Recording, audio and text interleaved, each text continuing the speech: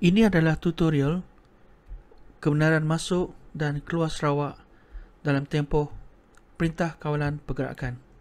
Seperti biasa, anda harus membuat carian di Google. Kita klik pada bahagian Google. Kemudian di bahagian ruangan carian, type Sarawak Disaster Management. Anda klik pada pautan Sarawak Disaster Management. Ini adalah laman web yang dibuat oleh Sarawak Disaster Management untuk kebenaran masuk dan keluar daripada Sarawak dalam tempoh Perintah Kawalan Pergerakan. Tiga perkara yang anda perlu tahu berkenaan dengan laman web ini. Yang pertama adalah laman web ini mempunyai maklumat yang dikongsikan melalui iAlerts iAlert ini akan memaklumkan statistik, video, berita dan utusan media terkini daripada Jawatan Kuasa Siaran Bencana Sarawak.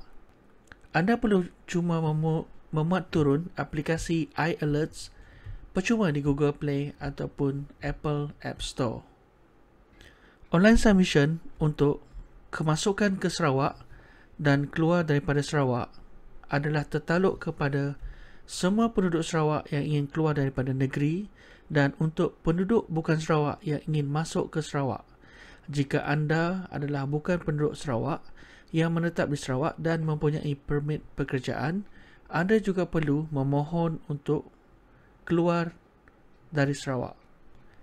Keputusan akan mengambil masa dalam lingkungan 12 jam iaitu anda disyorkan untuk memohon beberapa hari sebelum tarikh perjalanan. Permohonan akan diluluskan oleh Sarawak Disaster Management. Permohonan akan menerima permohonan melalui email sama ada permohonan mereka diluluskan ataupun ditolak. Bagi penduduk Sarawak yang ingin masuk ke Sarawak, anda hanya perlu klik pada pautan e-health declaration form untuk bahagian Sarawakian. Kemudian anda tekan enter. Anda perlu mengisi part A keseluruhan maklumat yang diperlukan. Termasuklah nombor pesawat nombor kerusi dan alamat anda di Sarawak. Secara keseluruhan cara untuk membuat online application ini sangatlah mudah dan apabila anda telah mengisi ke semua data-data dan butir-butir yang diperlukan, anda cuma tekan bahagian setuju, term and condition dan submit sahaja. Bagi bukan Sarawakian, anda perlu menekan pautan permission to enter Sarawak form. Klik pada pautan tersebut. Anda diberi tiga pilihan sama ada masuk dan keluar Sarawak anda untuk masuk Sarawak sahaja ataupun untuk keluar daripada Sarawak. Contohnya, anda cuma perlu masukkan bahagian nama dan nama terakhir anda, gender, tarikh lahir, kewarganegaraan, IC, email anda.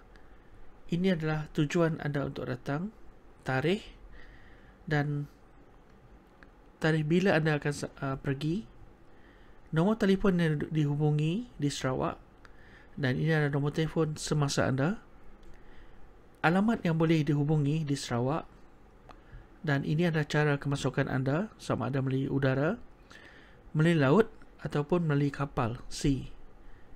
Ini adalah bahagian untuk negara anda daripada negara mana dan anda daripada mana hendak ke bahagian mana di Sarawak dan anda perlu istiharkan dalam tempoh 14 hari ke semua negara yang anda masuk untuk bahagian supporting document pula diperlukan untuk flight ticket bukti jika anda bekerja di Sarawak jika anda balik ke Sarawak adalah berkahwin dengan orang Sarawak dan memerlukan bukti uh, proof of marriage perkahwinan ataupun sebarang surat yang dijadikan sebagai bukti Kemudian anda perlu mengisi satu demi satu untuk kesemua lampiran tersebut. Anda perlu klik di sini dan add lagi dan add lagi dan add lagi supporting document yang diperlukan. Kemudian anda hanya perlu tekan uh, tick bahagian I declare all the information given dan kemudian terus submit. Untuk bahagian exit daripada Sarawak, sama ada Sarawakian ataupun non-Sarawakian, bukan Sarawakian, anda perlu membuat submission dalam tempoh 12 jam sebelum membeli tiket. Kedua-dua borang ini adalah sama. Saya mengambil satu contoh. Anda cuma klik bahagian exit Sarawak only. Kemudian masukkan butir nama anda, gender, tarikh lahir, kewarganegaraan, IC, email. Email ini penting kerana kod akan dihantar melalui email yang diberikan oleh anda. Ini adalah bahagian purpose of visit untuk keluar daripada Sarawak ataupun purpose out of Sarawak dan tarikh anda keluar. Yang ini anda boleh masukkan nombor telefon kedua belah ini adalah alamat anda berada di Sarawak dan cara anda keluar dari Sarawak sama ada melalui udara, penerbangan ataupun melalui border menggunakan kereta ataupun melalui kapal. Ini adalah negara anda, anda berada daripada negara mana dan daripada mana hendak ke mana contohnya daripada Sarawak hendak keluar ke Labuan, KL ataupun ke mana-mana negara luar daripada Sarawak ini adalah senarai ke semua negara yang anda pernah lawati dalam tempoh 14 hari. Anda perlu masuk satu demi satu jika anda ada banyak negara yang anda lawati. Untuk bagian supporting dokumen pula anda perlu masukkan satu demi satu dokumen yang diperlukan. Sama ada tiket, bukti anda bekerja keluar dari Sarawak ataupun sebarang surat uh, invitation daripada luar dan sebarang relevant supporting document yang diperlukan. Kemudian anda hanya perlu tekan I declare all the information given above is true and correct. Kemudian anda submit. Untuk bahagian kebenaran interdistrik di dalam Sarawak, anda perlu mengisi pautan link tersebut melalui submission online 12 jam sebelum anda keluar atau membuat sebarang permohonan melalui balik polis berdekatan.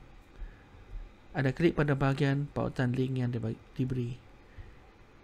Kemudian anda tekan enter dan anda cuma perlu mengisi semua butir-butir yang diperlukan seperti yang tertera di dalam skrin